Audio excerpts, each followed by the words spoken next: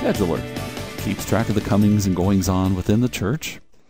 And I'm going to look at a monthly view here. Looks like I might need to go back some to uh, get my get some calendar information in place. Pardon me, folks, while I zip back in time so I can. I know somewhere back here I have a pretty decent looking month of data. There we go. So we're we're seeing Sunday morning worship. Uh, little circle here tells you it's a recirc- it's a uh, recurring event. Looks like Wednesday nights we have youth basketball. Let's look at the weekly view here. Yeah, here we go. Sunday morning worship in the sanctuary. Uh, youth basketball in the gym, music basketball basketballs, kind of like a game of clue there. Wouldn't it be nice to have a coffee break every day, timed out at three o'clock perfectly? Um, so you can see the pancake breakfast is second Saturday of the month here. Scheduler um, is very handy specifically uh, especially for churches on networks or those using church windows web because once you enter something in here everybody else can see it.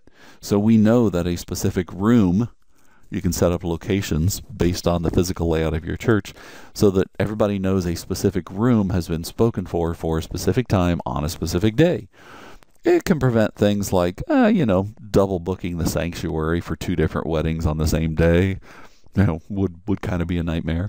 Uh, most brides and grooms don't really want to share their special day. Uh, we can also see what equipment has been uh, obligated for. So Wednesday nights, I'm guessing basketballs down here are are taken. I don't. I'm not on a Wednesday, but Wednesday night. There we are. See, the basketballs have been spoken for on Wednesday night. Uh, if we have two different groups that need an overhead projector, you can see here there's only one.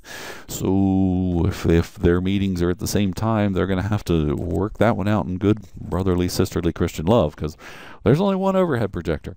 Um, we can also make sure we don't double book people although we realize a lot of times the pastor's running from one meeting to the next in order to try to be everywhere at once two things that schedulers commonly used for. One is you can export this information in the VCal file format, which is the most popular scheduler format. Uh, you can export it for use maybe on the church website or something like that.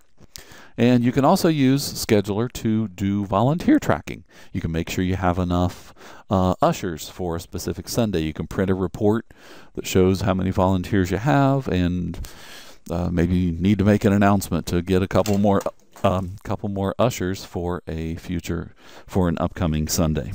So very very handy part of the program.